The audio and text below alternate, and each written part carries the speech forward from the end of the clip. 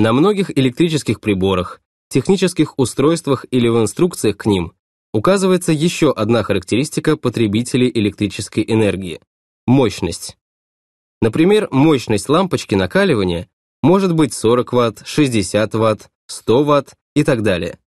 При этом имеют в виду мощность электрического тока, проходящего через тот или иной прибор. Мощность электрического тока равна произведению напряжения на силу тока в цепи. Единицей мощности является ватт.